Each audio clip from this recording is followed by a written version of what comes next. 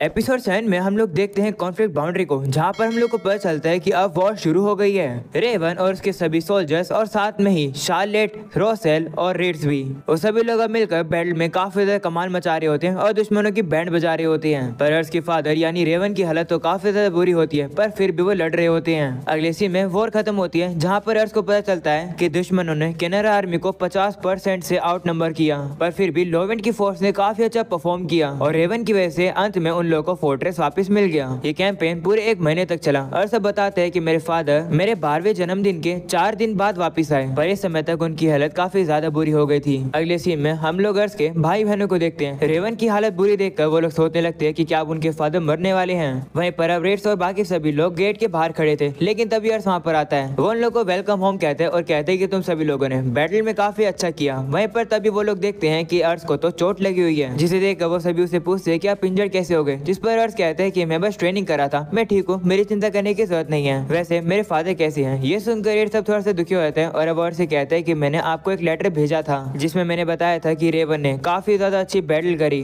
पर फाइट खत्म होने के बाद ही वो बेहोश हो गए लॉर्ड रेवन की हालत पहले से खराब थी और इस कैंपेन की वजह से उनकी हालत और खराब हो गई है। वो सुनकर अर्स कहते हैं कि इसका मतलब ये मेरी गलती है, क्योंकि मेरी वजह से उन्हें बैटल में जाना पड़ा। तो रेड्स कहते नहीं, इसमें आपकी कोई भी गलती नहीं है। रेवन की हालत पहले से खराब थी। वो सुनकर अर्स कहते हैं, शुक्रिया, इतना दयालु होने के लिए। अगर मेरे फादर की हालत थोड़ी ठीक होती है तो प्लीज़ मुझे बता देना। तो वो लोग भी कहते हैं, ठीक है, पर आप कहाँ पर जा रहे हो? जिस पर अर्स कहते हैं कि मैं ट्रेनिंग करने जा रहा हूँ। ये सुनकर वो उससे कहते हैं कि, लेकिन अभी काफ़ी लेट हो गया। आपको ट्रेनिंग नहीं करनी चाहिए। जिस पर अर्स उनकी बात नहीं मानता है और वो ट्रेनिंग करने के लिए चला जाता है। वो देखकर रोसेल कहने लगता है की, क्या अर्श ठीक है? तो शालेट बताती है की एक बंदा जो की यहाँ पर रुका हुआ था, उसने मुझे बताया की लॉर्ड अर्श डेली ट्रेनिंग कर रहे हैं। मैं होप करती हूँ की वो ज़्यादा इंजर्ड ना हो जाए। तभी हम लोग देखते हैं की उनके घर पर लीशी आ जाती है, जो की कहती है की माफ़ करना इतनी रात में आने के लिए। तो वो लोग उससे कहते हैं, कोई बात नहीं, लेकिन क्या हुआ है? तो लीशा कहती है कि मुझे अर्श की काफ़ी ज़्यादा चिंता हो रही है, क्योंकि काफ़ी समय से हम दोनों एक दूसरे को लेटर्स भेजते आ रहे हैं। अर्श हमेशा लेटर को अच्छे तरीके से लिखते हैं और ऑनेस्ट इमोशन से लिखते हैं। पर जब से वॉर शुरू हुई है, मुझे लगता है की अर्श स्वर से बदल गए हैं। ये चीज़ मैं उनके लेटर के लिखने के तरीके से बता सकती हूँ।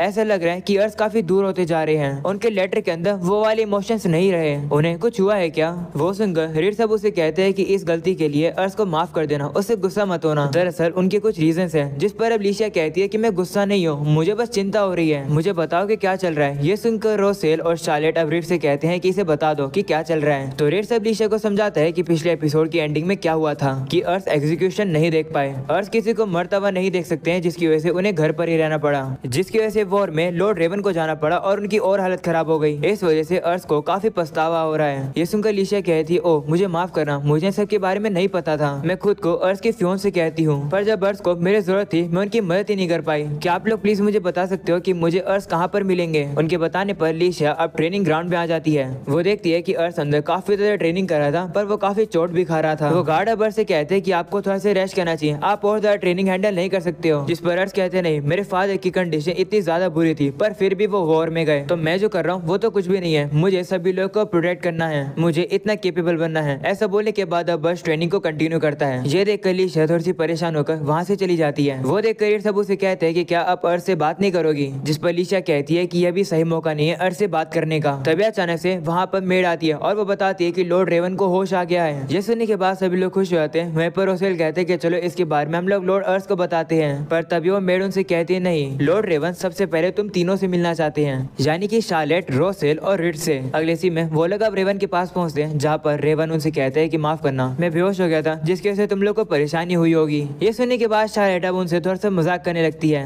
जिसे देख कर रिड उसे चुप कराता हैं तो रेवन उसे कहते हैं कि कोई बात नहीं, इस समय पर मैं तुम लोगों से एक लॉर्ड के तौर पर बात नहीं कर रहा हूँ। तो रिड्स कहते हैं कि आपके कहने का ये क्या मतलब है? जिस पर रेवन कहते हैं कि तुम लोग को अपनी लाइफ यहाँ पर पसंद आई या फिर नहीं, जिस पर रिड्स कहते हैं कि मेरी पहले की लाइफ तो काफ़ी बेकार थी, पर ये वाली लाइफ एक हेवन की तरह है। वहीं बाकी सभी भी कहते हैं कि हम यहाँ पर काफ़ी इंजॉय करते हैं। ये जगह हमारे घर की तरह है। ये सुनकर रेवन खुश होते हैं और वो लोगों से कहते हैं कि मैंने तुम लोग को यहाँ पर इसे बुलाया क्योंकि मुझे तुम्हें कुछ बताना है। दरअसल मैं थोड़े समय बाद ही मरने वाला हूँ। ये सुनकर रिड्स उसे कहते हैं कि आप ये क्या कह रहे हो? ऐसा नहीं होगा। जिस पर रेवन कहते हैं कि मैं अपनी खुद की बॉडी को अच्छे से जानता हूँ। मेरे पास काफ़ी कम समय बचा है, इसलिए प्लीज़ मेरी बात सुनो। पता नहीं, फिर मैं कभी बोल पाऊँगा या फिर नहीं। जब वर्ष तुम तीनों को सबसे पहले यहाँ पर लेकर आया था तो मुझे नहीं पता था कि तुम लोग क्या करोगे। तुम एक मैलकिन हो शार्लेट तुम एक लड़की हो। और उसे तुम उस समय पर सिर्फ़ पाँच साल के थे। पर अब देखो, तुम तीनों हमारे डोमेन के सबसे पावरफुल पिलर्स बन गए हो। मैं काफ़ी शुक्रगुजार हूँ की तुम लोग हाउस लोवेंट में आए। तुम सभी लोगों पर मुझे गर्व है। ये सुन सुनने के बाद सभी लोग काफ़ी हैरान हो जाते हैं। रेवन अब उन लोगों से कहते हैं कि प्लीज़ मेरा एक फेवर पूरा करना। ये अर्थ से रिलेटेड है। दरअसल अर्थ इतना ताकतवर नहीं है कि वो बैटल फ़ील्ड में जा पाए। तो इस समय पर उसे एक लॉर्ड बना देना काफ़ी गलत रहेगा। इस समय पर मैं काफ़ी जल्द मरने वाला हूँ। अब मुझे रियलाइज़ हो रहा है की कि कितना कुछ मुझे करना चाहिए था पहले।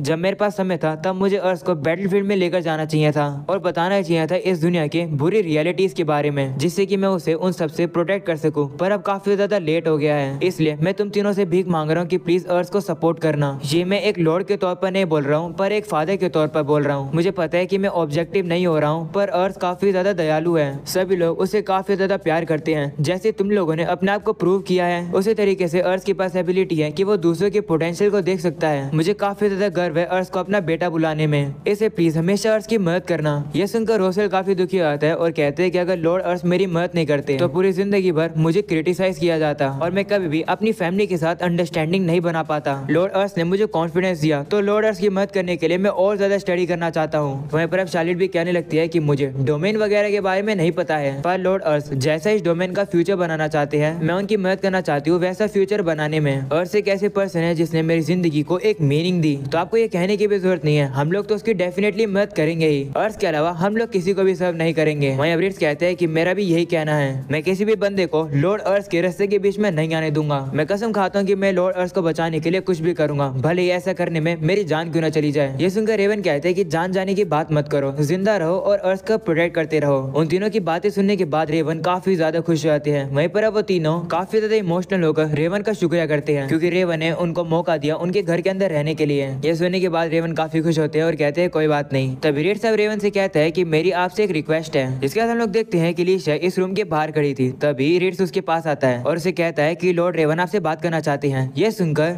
लीशा काफ़ी खुश होती है और अब वो का शुक्रिया करती है लॉर्ड रेवन को उसके बारे में बताने के लिए। जिसके बाद अब लीशा अंदर जाती है, वहीं पर वो तीनों कमरे से बाहर चले जाते हैं। इसके बाद अब लीशा काफ़ी अच्छे से रेवन को अपना इंट्रोडक्शन देती है, जहाँ पर रेवन अब लीशा से माफ़ी माँगता है की लीशा को रेवन की इतनी बुरी हालत देखने को मिल रही है, जिस पर लीशा कहती है की ऐसी कोई बात नहीं है। तभी रेवन अब से कहते हैं की क्या तुम्हें याद है जब हम लोग पहली बार मिले थे? ये सुनकर लीशा हैरान हो जाती है और कहती है की क्या हम लोग पहले भी कभी मिल चुके हैं? जिस पर रेवन कहते हैं हाँ मैं ही वो पर्सन था जिसने रिक्वेस्ट किया था की आपके एंगेजमेंट अर्थ के साथ हो। जब मैंने पहली बार तुम्हें देखा तो मुझे लगा कि तुम एक अमीर बाप की बेटी होगी और वैसा ही एक्ट करती होगी। पर तुम बिल्कुल अपोजिट थी। तुम बहुत ज़्यादा दयालु थी। तभी मैंने डिसाइड कर लिया था कि मुझे तुम चाहिए हो, जो कि अर्थ के साइड रहे। माफ़ करना हाउस लोवेंट की टेरिटरी काफ़ी ज़्यादा छोटी है और मेरा बेटा इतना भी कमाल का नहीं है। तो अब लीशा कहती, नहीं, ऐसा बिल्कुल भी नहीं है। वैसे ये बात सच है की अर्थ इतने दयालु है तो कोई भी उन्हें यूज़ कर सकता है। पर वो काफ़ी ज़्यादा मेहनत कर रहे हैं अपनी इस डिसएडवांटेज को ओवरकम करने के लिए। लॉर्ड अर्थ ट्राई कर रहे हैं बिल्कुल आपकी तरह बनने के लिए। वो सुनकर रेवन कहते ओ, इसका मतलब तुम अर्थ के प्यार में गिर गई,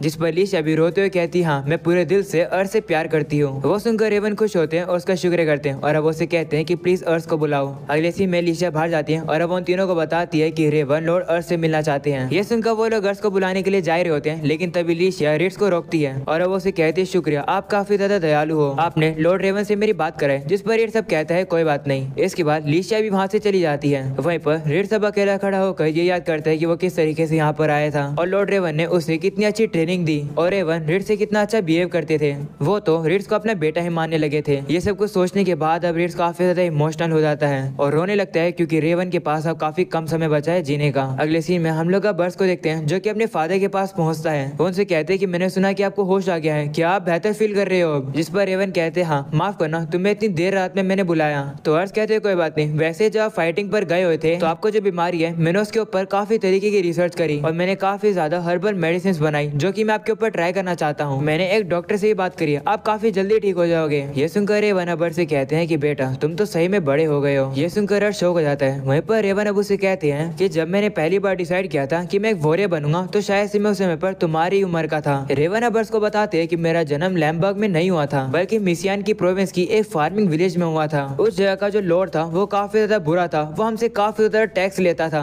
जिसके वहाँ के लोगों को गरीबी में रहना पड़ा। मैं सब कुछ देखना सहन नहीं कर पाया तो मैं घर से भाग गया और सिटी के अंदर आ गया। उस समय पर मैं सिर्फ़ दस साल का था। जिस दिन मैं सिटी में आया था, उसी दिन मिसियन के गवर्नर उस सिटी को विज़िट करने आए थे। तो वहाँ के जो लोकल लोग थे, वो वहाँ पर पार्टी कर रहे थे उनके साथ। उस समय का मेरे को ज़्यादा कुछ याद नहीं है, पर एक चीज़ मुझे अच्छे से याद है। जब मैंने गवर्नर को पहली बार देखा कि वो कितने माइटी लग रहे थे, एक वोरे की तरह और सभी लोग उन्हें पसंद कर रहे थे, वो देखकर मैं काफ़ी ज़्यादा इंस्पायर हुआ की मुझे भी ऐसा ही पर्सन बनना है, जो की काफ़ी सोल्जर्स को एक साथ लीड कर सके। इसलिए मैंने काफ़ी मेहनत करी और काफ़ी बैटल जीती। मैंने अकेले तलवारबाजी सीखी और एक सोल्जर बन गया। मेरी हार्ड वर्क को लोग पहचानने लगे और लॉर्ड ल्यूमेर ने मुझे अपॉइंट किया और फिर मुझे खुद की डोमेन भी मिली। समय सही में बहुत जल्दी दौड़ता है। सभी सिटीजन मेरी फैमिली लैम्बर्ग में जो भी रहते हैं, वो मेरे लिए काफ़ी ज़्यादा प्रेशियस है। मैंने अपनी पूरी ज़िंदगी उन्हें प्रोटेक्ट करने में लगाई है। तभी अब रेवन को काफ़ी ज़ोर से खांसी आने लगती है, जिसे देखकर अबर्स परेशान हो जाता है। रेवन अबर से कहते हैं की मेरी हालत और ज़्यादा खराब हो गई है और मुझे पता है की इस चीज़ का रिस्पॉन्सिबल तुम अपने आप को मानते हो। पर रिस्पॉन्सिबल तुम नहीं हो। ऐसी ज़िंदगी जीने का मेरे खुद चूज़ किया है। तुम्हें बिल्कुल भी फील नहीं करना चाहिए की तुम्हारी वजह से मेरी हालत हुई है। रेवन अबर्स का हाथ पकड़ लेते हैं और कहते हैं कि प्लीज़ मेरे लिए सभी लोग का ख्याल रखना। ये सुनकर अर्थ सब समझ आता है कि रेवन के इस बात के कहने का मतलब क्या है कि रेवन ज़्यादा समय तक नहीं जियेंगे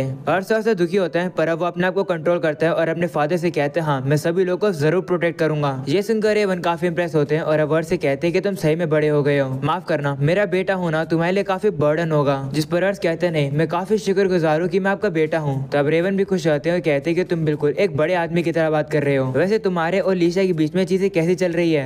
ये सुनने के बाद हर्ष थोड़ा शर्मा जाता है। रेवन अबर से कहते हैं की लीशा काफ़ी अच्छी है। वो बिल्कुल अपनी मम्मी पर गई है। वो सुनकर हर्ष उनसे कहते हैं की क्या आप लीशा के फादर हेमोंड को जानते हो? जिस पर वो कहते हैं हाँ। जब मैं सोलह साल का था तो लॉर्ड ल्यूमेर ने हम दोनों को कहा था कि हम दोनों एक दूसरे से मॉक बैटल करें। रेवन अब इसी तरीके से अर्थ के साथ पूरी रात भर बात करते रहते हैं। अर्थ ने कभी भी अपने फादर के साथ इस तरीके से बात नहीं करी थी। अर्थ काफ़ी इंजॉय भी करता है, पर उसके फादर उसको डांटने भी लगते हैं। वहीं पर अर्थ की पूरी फैमिली आकर रेवन के साथ बात करने लगती है और उन्हें अच्छा फील करवाने की कोशिश करती है। पर इन सब के बावजूद भी अगली सुबह अब लॉर्ड रेवन मर जाते हैं। इसके बाद हम लोग को लॉर्ड रेवन का फ्यूनरल दिखाया जाता है, जहाँ पर अर्थ सब अपने भाई बहनों को बुलाता है और उनसे कहते हैं कि हमारे फादर काफ़ी कमाल के थे, उन्हें गुड बाय करो। अर्थ भी सामने जाकर फूल चढ़ा देते हैं और वो काफ़ी ज़्यादा इमोशनल हो जाता है। अर्थ सब सभी लोगों से कहने लगता है की मेरे फादर ने मुझे काफ़ी सारी चीज़ें सिखाई थी, वो काफ़ी ज़्यादा कमाल के पर्सन थे। रात में मरने से पहले उन्होंने मेरे साथ काफ़ी सारी बातें करी थी। उन्होंने लैम्बर्ग और पूरी इस प्रजा को मेरे भरोसे छोड़ा है। अर्थ सब सभी लोगों से कहने लगते हैं कि मैं अपने फादर की जितना ताकतवर नहीं हूँ। पर जिस तरीके से मेरे फादर ने किया था, मैं कसम खाता हूँ कि मैं तुम सभी लोग की काफ़ी ज़्यादा चिंता करूँगा और सभी लोग को प्रे करूँगा। इसलिए प्लीज़ मेरी मदद करना तुम सभी। वहीं पर लॉर्ड रेवन के जाने की वजह से पूरी प्रजा भी काफ़ी दुखी होती है। पर लॉर्ड अर्थ की बात सुनने के बाद सभी लोग मोटिवेट होकर कहते हैं कि हाँ हम लोग अर्थ के लिए सब कुछ करेंगे। वो लोग भी कहने लगते हैं कि अर्थ तुम ठीक रहोगे। हम लोग भी तुम्हें प्रोटेक्ट करेंगे। इसी तरीके से सभी लोग अब अर्थ को बेस्ट विशेष दे रहे होते हैं। वहीं पर अब शालिट भी याद करते हैं कि बैटल के दौरान वो काफ़ी ज़्यादा हमले कर रही होती है, बिना रेस्ट करे। पर तभी लॉर्ड रेवन वहाँ पर आते हैं और शार्लेट को रेस्ट करने के लिए कहते हैं और उसे कहते हैं कि थोड़ी ताकत उस समय के लिए बचा के रखो जब अर्थ बैटल फ़ील्ड में उतरेगा, जिस पर शार्लेट भी रिप्लाई में कहती है, ठीक है फादर शार्लेट भी रेवन को अपना फादर मानने लगी थी। वहीं पर इन सबको शार्लेट अब याद कर रही होती है।